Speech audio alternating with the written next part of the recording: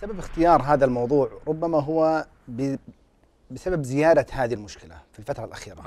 يعني آه، زيادة الح... مثلا بدأت ألاحظ زيادة الحالات سواء في الاستشارات في العيادات سواء عندي أو عند الزملاء. كثير من الأشخاص الذين بدأوا يعني يأتون للعيادة أو طلب الاستشارة بسبب الآثار الناتجة عن هذه المشكلة. ويريد أن يفك منها. ي- يعني لأنه مثلا بعضهم على سبيل المثال بعضهم ربما يكون آه، طالب أو موظف. ف لسبب ما س- لسبب أو لآخر وقع في هذه الإشكالية قد يكون من باب الفضول من باب التجربة من باب يعني الاستكشاف ثم وجد نفسه مدمن لهذه العادة. وبتكلم بعد شوي عن إيش الفرق إيش ما هو الإدمان. جميل. مع هذا الإدمان بدأت تظهر عليه بعض الأعراض. بدا بدأ يعاني. في البداية كان يستمتع بمثل هذه آه. الممارسة. كان يجد لذة كان يجد آه، نشوة في البداية.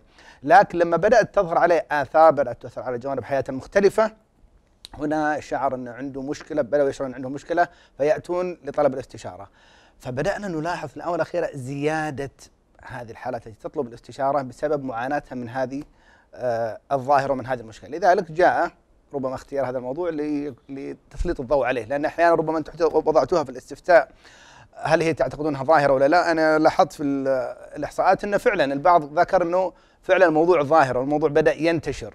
فربما البعض قد يكون هو واقع في هذا في هذا الأمر أو ربما يعرف من وقع في هذا الأمر. فنحن لا نريد أن مثل ما يقولون نضع رؤوسنا في التراب لا هي مشكلة وبدأت تؤثر وبدأت تنتشر على جميع المستويات. جميل. ما دام ذكرت على قضية السؤال التفاعلي دعنا نعرضه للجمهور يتأذن لي دكتور محمد اللي هو السؤال الأول آه، هل تعتقد أن مشكلة آه، إدمان الإباحية مشكلة حقيقية وتحتاج منا إلى تسليط الضوء عليها؟ كان عدد الأصوات آه، 1206 صوت من الأصوات. نعم وبكل تأكيد آه، 87.5% نعم إلى حد ما 8 8 من عشرة بالمئة لا أعتقد واحد تسعة من عشرة بالمئة غير مهتم واحد وثمانية آه، بالعشرة بالمئة يعني الأغلب بشكل ساحق اللي هو 88 بالمئة نعم وبكل تأكيد في القضية الجمهور يعني يشاركك في هذا القضية بشكل كبير